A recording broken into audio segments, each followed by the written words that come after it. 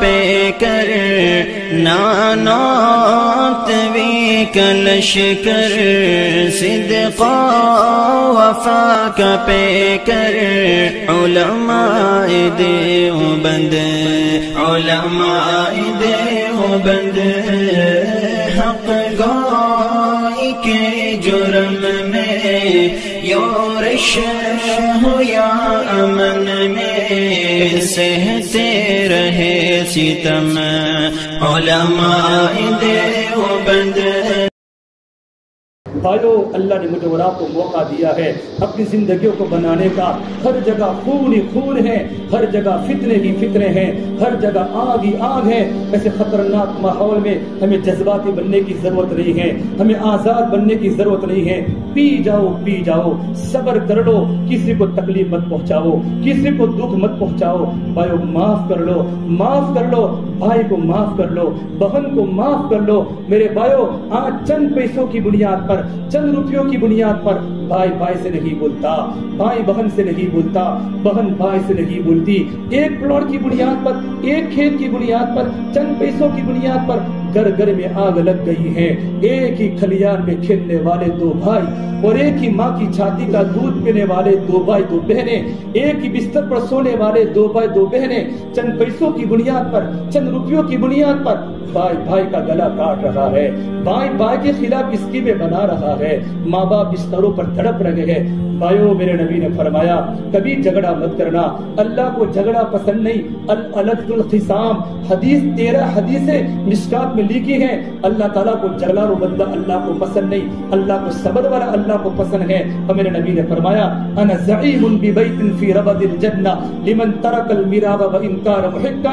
میں اس آدمی کو جنت کے بیچوں بیچ گر دلانے کا ذمہ دار ہوں، تو حق پر ہونے کے باوجود بھی جھگڑا چھوڑ حق پر ہونے کے باوجود بھی جھگڑا چھوڑ دے، اس کو پتا ہے میرا گھر میرے بھائی نے قبضہ کیا ہے، میرے پلاٹ پر میرے بھائی نے قبضہ کیا ہے، میری کھیتی پر میرے بھائی نے قبضہ کیا ہے۔ بوئے دنیا تو دھوکے باز ہے، یہ دنیا چند دین کا سامان ہے، یہی تجھ کو دن ہے رہو سب سے اعلیٰ۔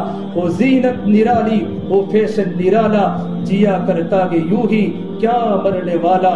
تجھے حسن ظاہر نے دھوکے میں ڈالا، تجھے پہلے بچپن نے برسوں کھلایا۔ جوانی نے پھر تجھ کو مجنو بنایا، بڑھاپے نے پھر آ کے کیا کیا ستایا۔ اجل تیرا کر دے گی بالکل صفایا، جگہ جی لگانے کی دنیا نہیں۔ ہے۔ یہ عبرت کی جاگے تماشا نہیں ہے۔ میرے بھائیو، یہاں کے سوکھ تھوڑے ہیں۔ یہاں کے دکھ زیادہ ہے یہاں کی مسکراہٹیں تھوڑی ہیں۔ یہاں کی چیخیں زیادہ ہیں۔ یہاں کا ہنسنا تھوڑا ہے۔ یہاں کا رونا زیادہ ہے۔ یہاں کی آبادی تھوڑی ہے۔ یہاں کی ویرانی زیادہ ہے۔ میرے بھائیو اٹھتی جوانیاں مت دیکھو، اٹھتے جنازے دیکھو، نوجوان قبروں میں جا رہے ہیں۔ عبد القیم بھائی، کسی کو پتا بھی تھا، کسی نے سوچا بھی تھا کہ معصوم بچوں کو یتیم کر کے اللہ کا پیارا ہو جائے گا۔ اٹھتی جوانیاں مت دیکھو، اٹھتے جنازے دیکھو۔ بھائی شادی کی بارات مت دیکھو، موت کے ماتم دیکھو۔ ہم سب کو مرنا ہے اور ہم سب کو قبر میں جانا ہے۔ مجھے اور آپ کو اللہ کے سامنے بھائی، کھڑا ہو رہا ہے۔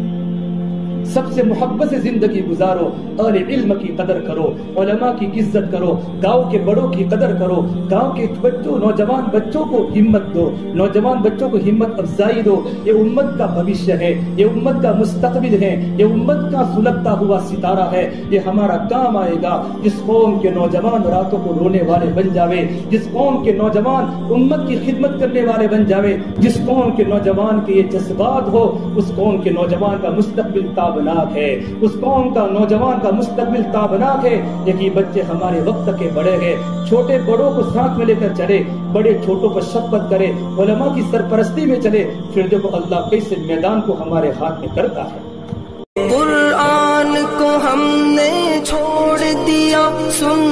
سے بھی رشتہ توڑ لیا۔